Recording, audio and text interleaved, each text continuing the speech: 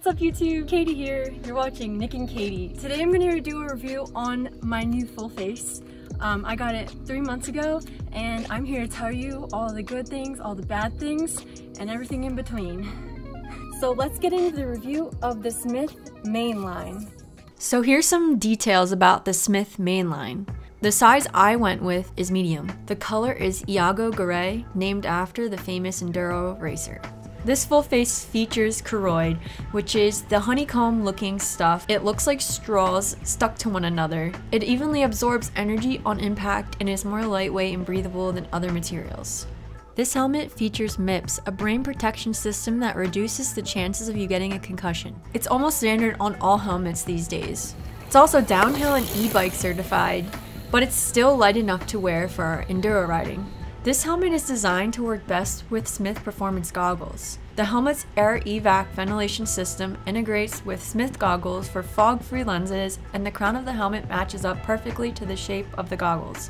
When you buy the helmet, they provide three washable cheek pad kits, two crown liners, and two neck rolls to let you fine tune the fit. I ended up going with the medium cheek pads that were already on it. This helmet features a D-ring chin strap fastener for a snug fit commonly found on downhill helmets and motocross helmets. The D-ring is extremely secure, however it does take a bit longer to do and undo. I find I can slip the helmet off without undoing the strap. This helmet has 21 fixed vents for consistent airflow so it is very breathable. This helmet also has an adjustable visor and comes with extra bolts to attach the visor. I hear they've been known to fall off and become lost, so having some spares is awesome. The helmet has an antibacterial performance lining for odor resistance. Weight for the size medium is 27 ounces and 770 grams. I got mine for $300, but you can find them as low as 186 on Amazon. Link is in the description. So I'm going to start with my likes, the way it looks. I mean, look at this thing. I couldn't imagine a more beautiful thing. So the way it fits, I completely forget that I'm wearing this thing. It is so lightweight. It doesn't even seem like it's a full face. Like when you're wearing it, you could just wear it for regular riding and it's totally fine. And not only that, but it has so much ventilation all the way around this thing. You have so much airflow going through here, you barely get sweaty. Not only that, but there is a little hole here you can put your straw through to drink your water. Also, there's all this like very comfortable padding that's super soft. There's like soft material. And when I put this helmet on, I don't feel any hot spots. There's not, there's nowhere inside the helmet that feels like pressure. So the last thing I like about this helmet is that it comes with a really nice bag and it matches the helmet perfectly. It has ventilation so you can dry your helmet but you can also put it away. It's like a backpack also. You can kind of like put your helmet in and sling it over your back.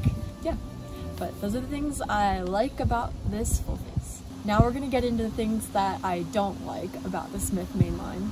So one of the things I don't like is that this visor is extremely long. So what happens is I sometimes hit my head on things that I don't mean to hit my head on pretty often actually.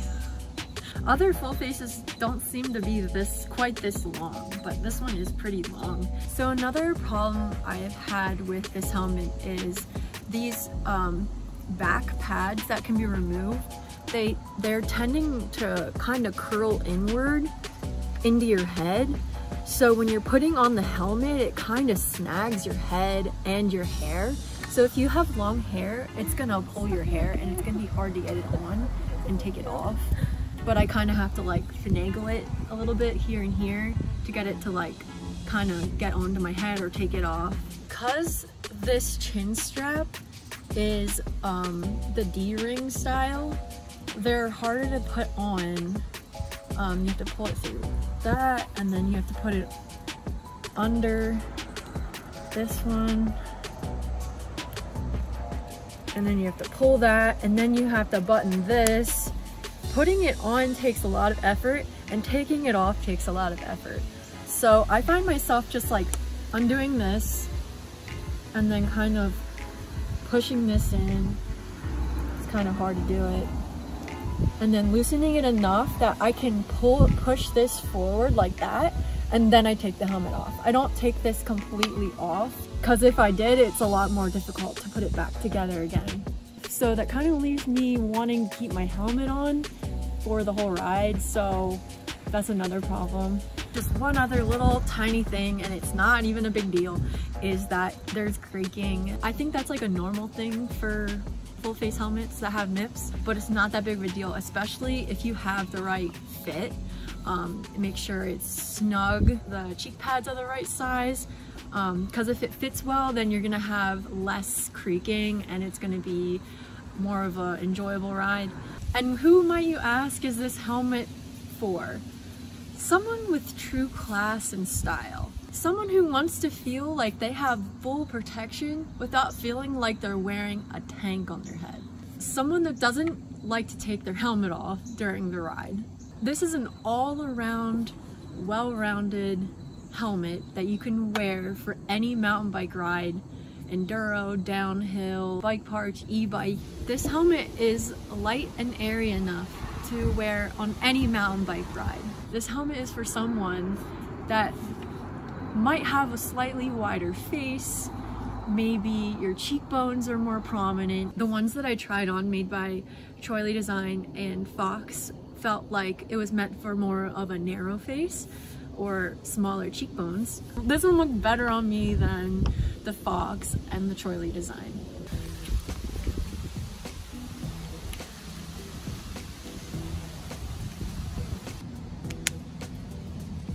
Hope you all enjoyed my review of the Smith mainline helmet. If you like this video, please give us a thumbs up and please consider subscribing. I'm Katie and you're watching Nick and Katie. I hope you guys have a good week and I'll see you next time. Like you're, you want this helmet. Like this is the helm, this is the helmet that you want because this is, it's just, how could you want anything else?